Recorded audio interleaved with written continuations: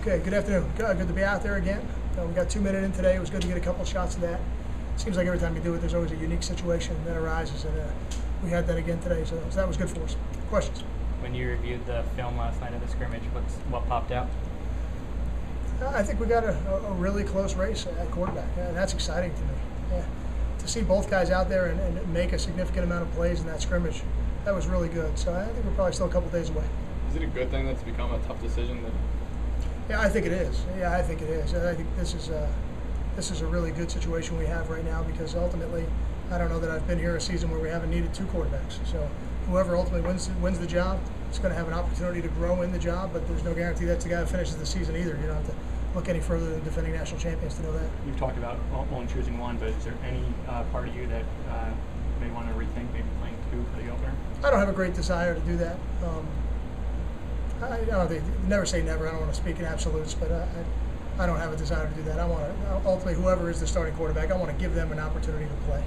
How much will Saturday's scrimmage impact your final decision? It may get made before that, you know. So if it if it gets made before that, then it won't impact the decision because we're moving forward at that point. But if we haven't, then it certainly will will, will weigh very heavily. so what goes in the next couple of days that would make you make the decision? I guess what would tip the scales? Watching progress, you know, watching progress. So we put in something today that that we hadn't had in. The defense put in things that they hadn't shown us yet. So now we just continue to evaluate how we're handling those. Any other changes on the depth chart? Uh, Kaiwan Lewis, uh, we moved to, to first team. Isaiah Johnson will still take reps with the first team, but we, we thought that Kaiwan's performance um, dictated that. Yeah, the, the DBs, they're kind of rotating in right now, so I don't know that we've, we've got a settled group right there. Speaking of the DBs, Dre, Dre Boggs, how did I guess last season's experience help him? Because he was still in and out of the lineup a little bit, and it says his training camp so far. Here's the, here's the biggest difference with Dre. To me, watching Dre this training camp, he's a much more physical player in the run game. He could always run, he could always cover, he's got good hands. Th- those were not an issue. Uh, but now, you know, in our system, the corners have to be involved in the run game, and, uh, and he's been very physical this training camp. I've really enjoyed watching him. Have you been impressed by how quickly Kaiwan's been able to move into that first uh, team role? Yeah, again, it's it's not a starter's role yet. You know, we're not naming starters yet, but uh, am I surprised? I don't know. He's, he's, he's already played a lot on a big stage. So I don't know if I'm necessarily surprised. I'm pleased. Let me say that. What did you see out of him that kind of prompted you to move him up a little bit? Uh, just a performance. Uh, Just a, re- a really solid performance. A guy looked like he had you know, good body control in the right place at the right time, good grasp of what we're doing, and, and now, as we continue to put in the package on defense, we'll see if he can continue that and hold on to it. What are you seeing from Robert Martin? Oh, well, first day he's been back out here in a little bit, so it was good to have him run around. Um, I think he's close. I think he's getting close to being 100%. Anything settled on the offensive line, Kyle?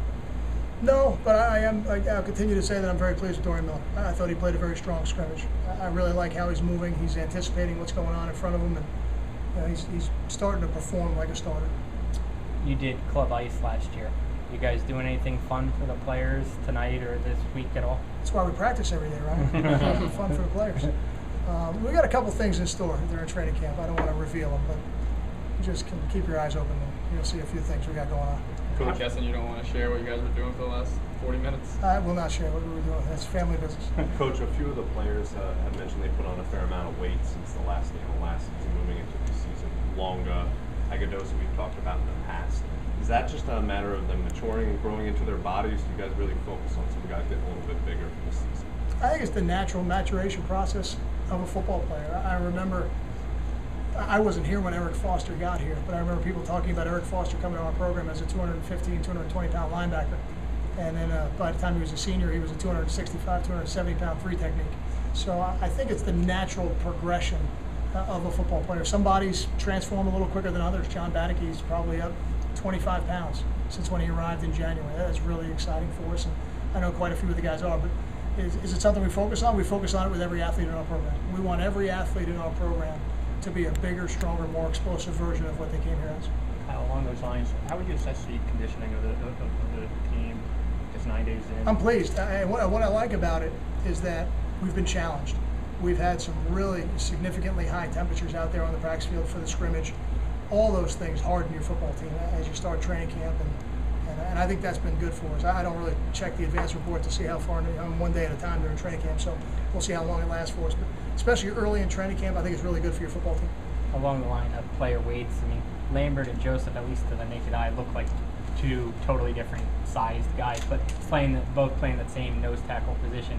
Do they play it differently? Is there a way that's played no matter how what size you are? Uh, you, you have to play to a player's strengths, that's for sure. Now, Sebastian is a nose guard, and Quanzell's playing there at a necessity at times. So I, I think Quanzell's probably more suited to be a defensive end on either side, you know, whichever side he ends up playing. Um, we're fortunate that Quanzell's so, so explosive that he can go in there when we need him to. But I, I think most of our nose guard bodies going forward will look like Sebastian, Kevin Wilkins. It'll be more like that. You feel Uh, like two more questions. you feel like Federico bounced back a little bit toward the end of that? Kyle was hot today. You know, four for four. Uh, last kick was a 50-yarder. Got the team wings tonight. So uh, boys, uh, they didn't seem very fired up about ice cream, so I had to go. I went with the wings to see if I get a little more excitement out of them. So uh, Coach. made, made sure Gilpin to get us some wings. So we'll be ready tonight. Coach, you had mentioned the heat.